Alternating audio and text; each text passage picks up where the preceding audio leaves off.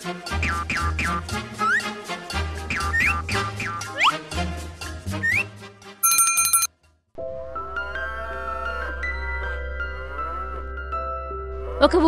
రాము అనే పాలవాడు ఉండేవాడు. అతని దగ్గర చాలా గేదెలుండేవి. గేదెలంటే తనకి చాలా ఇష్టం కూడా. ఊరిలో తాను ఇంటింటికి తిరిగి పాలమ్మేవాడు. రాము ఊరిలో అందరితో చాలా మర్యాదగా ఉండేవాడు. ఇంకా రాము చాలా నిజాయితీగా సున్నిత మనసుతో ఉండేవాడు. పాలలో ఒక్క చుక్క కూడా నీళ్ళు కలిపేవాడు కాదు. అందుకే నెమ్మది నెమ్మదిగా పాలు పోయించుకునే వాడకందారులు కూడా పెరగడం మొదలయ్యారు. ఓ రోజు ఒక వ్యక్తి ఓ రాము పాలేమైనా దొరుకుతాయా? అయ్యో క్షమించాలి. పాలు అయిపోయాయి. ఊరిలో అందరూ రాము దగ్గరే పాలు పోయించుకోవాలి అనుకునేవారు. అప్పుడు రాము నేను ఇంకో గేదె కొంటే బావుంటుందేమో అని అనుకుని మరుసటి రోజు ఉదయాన్నే బజారుకెళ్ళాడు. ఓ రాము ఉన్నా ఎట్లా ఉన్నావు? నేను చాలా బాగున్నాను మీరెలా ఉన్నారు? నేను కూడా చాలా బాగున్నాను. ఏమిటిలా వచ్చావు? పాలు వాడకందారులు పెరిగారు. పాలమ్మడానికి నాకు సరిపోవడం లేదు. అందుకే నేను బాగా ఆలోచించి ఇంకో గేదెని కొందాం అనుకుంటున్నాను. వీటిలో నీకు ఏ గేదె నచ్చిందో చూసుకో. రాము అన్ని గేదెలను చూశాడు. వాటిలో ఒక గేదె రాముకి బాగా నచ్చింది. ఆ గేదె నాకు బాగా నచ్చింది. దాని పేరేంటి?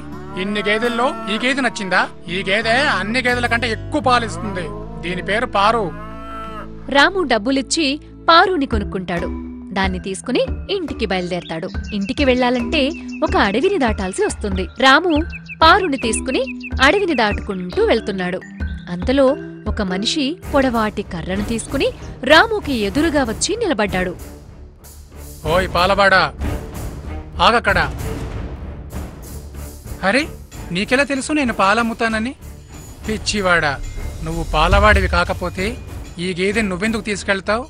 ఈ గేదెని నాకిచ్చి ఇక్కడి నుంచి వెళ్ళిపో. లేదంటే ఈ కర్రతో నిన్ను చితకబాది నిన్ను నువ్వే గుర్తుపట్టలేనట్లు చేస్తా. రాము భయపడిపోయాడు. కాని ఒక్క నిమిషం ఆలోచించాడు. త్వరగా కానీరా నా దగ్గర టైం లేదు.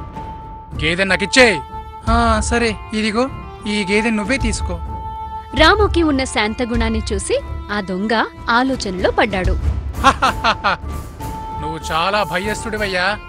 కర్రతో దెబ్బలు తిని ప్రాణం పోగొట్టుకునే కంటే గేదెనివ్వడమే మంచిది. ఓ వెళ్ళిక్కడి నుండి. రాము కాసేపు ఆలోచించి అరే నా మాట కొంచెం విను. గేదెను నీకు ఇచ్చేశాను కదా.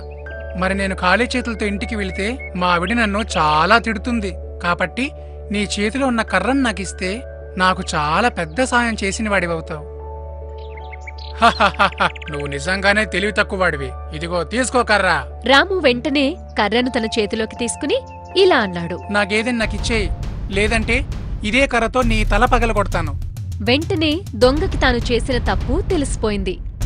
ఏ కర్రతో అయితే భయపెట్టి గేదెని తీసుకున్నాడో అదే కర్ర రాము చేతికి వెళ్ళింది. మారు మాట్లాడకుండా గేదెని రాముకి ఇచ్చి ఇలా అంటాడు. నేను నీ గేదెని నీకు ఇచ్చేశానుగా నువ్వు కూడా నా కర్రను నాకు తిరిగి ఇచ్చేసేయి.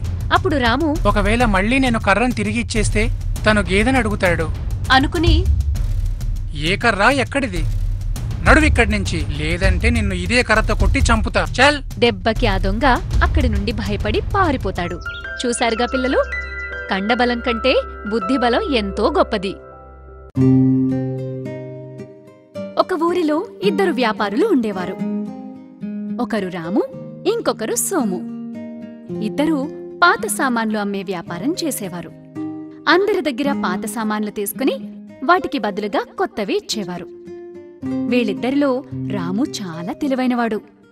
వీళ్ళు వ్యాపారానికి వెళ్ళేటప్పుడు ఇద్దరు చెరో దారి వెళ్ళేవారు రాము ఒక వీధికి వెళ్తే సోము ఇంకో వీధికి వెళ్ళేవాడు సామాన్లమ్మా సామాన్లు! జనం వచ్చి వాళ్ళ దగ్గరున్న పాత సామాన్నిచ్చి కొత్తవి తీసుకునేవారు. ఇదిలా ఉంటే ఒక ఇంట్లో సీత ఇంకా వాళ్ళ పాప చిన్ని ఉండేవారు. పాపం వాళ్ళది చాలా పేద కుటుంబం. కాని వీళ్ళు ఒకప్పుడు బాగా ధనవంతులు. కాని వాళ్ళ భర్త చనిపోయిన తర్వాత ఇలా పేదవారు అయిపోయారు. వాళ్ళ దగ్గర విలువైన వస్తువు ఒక్కటీ లేదు. ఒక్క బంగారు పాత్ర తప్ప దాన్ని మాత్రం చాలా జాగ్రత్తగా దాచిపెట్టారు.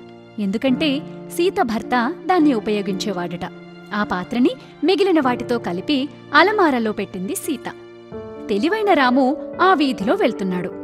సామాన్లమ్మా సామాన్లు! గ్లాసులు గిన్నెలు కడాయిలు రండమ్మా రండి తీసుకోండి. చిన్ని రాముని చూసి వాళ్ళమ్మతో ఇలా అంటుంది. అమ్మా నా కోసం ఏదైనా తీసుకోవా? చిన్ని మనం చాలా పేదవాళ్ళం కదా మన దగ్గర డబ్బులు కూడా లేవు. అమ్మా మన దగ్గర ఉన్న పాత సామాన్లు ఇచ్చి కొత్తవి తీసుకుందాం పదమ్మా అడుగుదాం. మన పాత సామాన్లకి ఏమిస్తాడో అడుగుదాం పదమ్మా. సీత వ్యాపారి రాముని పిలిచి నా దగ్గరున్న ఈ పాత గిన్నెలు తీసుకుని మా పాపకి ఏం కావాలో అది ఇవ్వగలవా? తెలివైన రాము ఆ పాత్రని చేతిలో తీసుకుని చేతితో రుద్ది చూశాడు. రాముకి ఆశ్చర్యం వేసింది. అది బంగారపు గిన్నె అని అర్థమైంది. రాము బాగా ఆలోచించి వీళ్ళిద్దరినీ ఏదో ఒకలా మాయ చేసి ఈ గిన్నె ఎలాగైనా తీసుకోవాలనుకుంటాడు. ఏ సత్తుగిని తీసుకొచ్చేవమ్మా? దీంతో నీకు ఒక్క గిన్నె కూడా రాదు. అంటూ ఆ గిన్నెని విసిరికొట్టి అక్కడి నుండి వెళ్ళిపోయాడు. కాసేపటికి అక్కడికి సోము వచ్చాడు. రండమ్మా రండి. పాత సామాన్లు తీసుకొని కొత్త సామాన్లు ఇస్తాం. రండి. ఈ వ్యాపారి అరుపులు విని చిన్ని అమ్మతో అడిగింది. అమ్మా ఈ వ్యాపారస్తుని అడిగి చూద్దాం. ఈ పాత గిన్నె గురించి ఏమంటాడు? చిన్ని ముందొచ్చినవాడు అది పనికిరాదని విసిరేశాడుగా మన దగ్గర ఇవ్వడానికి కూడా ఏమీ లేవు. కానీ అమ్మా తను వేరు ఈ వ్యాపారస్తుడు వేరు. ఈయన్ని చూస్తే మంచిగానే అనిపిస్తున్నాడు. ఈ గిన్నెకి బదులుగా ఏదైనా తప్పకుండా ఇస్తాడనిపిస్తుంది. సరే చిన్ని పిలు. ఈ గిన్నె చూపిద్దాం. చిన్ను సోముని పిలిచింది. సోము వచ్చాడు. సోముకి వాళ్ళ దగ్గరున్న గిన్నె ఇచ్చారు. గిన్నె చూడగానే సోముకి తెలిసిపోయింది. అది బంగారపు గిన్నె అని. అమ్మా ఈ గిన్నె బంగారపు గిన్నె. నేను దీన్ని తీసుకోలేను. నా దగ్గర నీ డబ్బులు లేవమ్మా. కాని ఇప్పుడే ఒక ఆయన చూసి ఇది ఎందుకు పనికిరానిదని పారేసి వెళ్ళిపోయాడు. ఒకవేళ ఇది నీకు పనికొస్తుందనుకుంటే నువ్వు దీన్ని తీసుకుని దీనికి బదులుగా మా చిన్నికేదైనా ఇవ్వు. కాని సోము దగ్గర అంత డబ్బు లేదు. తన దగ్గర ఉన్న సామాన్లు డబ్బు అన్నీ ఆమెకిచ్చేశాడు. నా దగ్గర ఇంటికి వెళ్ళడానికి కూడా డబ్బులు లేవు. అందులోంచి రెండు రూపాయలు ఇప్పించండి అమ్మా. అని వాళ్ళ దగ్గర నుంచి డబ్బు తీసుకుని సోము ఇంటికి వెళ్ళిపోయాడు. కాసేపటికి రాము మళ్ళీ ఆ ఇంటి వైపుగా వచ్చాడు. ఏమ్మా సర్లే సర్లే ఇందాక తీసుకొచ్చాగా ఆ గిన్నెతే దానికి బదులుగా మీ అమ్మాయికి ఏదో ఒకటి ఇస్తా. ఈ మాటలు విన్న సీతకి విపరీతమైన కోపం వచ్చింది. నువ్వు ఆ గిన్నె సత్తుదని దేనికి పనికిరాదని అన్నావుగా? కాని వేరే వ్యాపారి దాన్ని తీసుకుని దానికి సరిపడా సామాన్లు కూడా ఇచ్చి వెళ్ళాడు.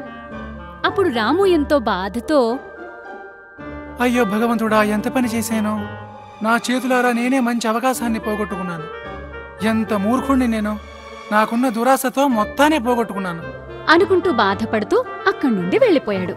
చూసారుగా పిల్లలు ఈ కథ ద్వారా మీకేం అర్థమైంది? దురాశ దుఃఖానికి చేటు. మరి ఇలాంటి మంచి మంచి పద్యాలు పాటలు కథలు చూడాలనుందా? ఇంకెందుకు ఆలస్యం? వెంటనే మీ అమ్మా నాన్నలకు చెప్పి మాకు సబ్స్క్రైబ్ చేయించరా? ఈలోగా మేము మీకోసం బోల్లెడు వీడియోలను తయారు చేసే ప్రయత్నంలో ఉంటాం. అంతవరకు సెలవా మరి? టాటా!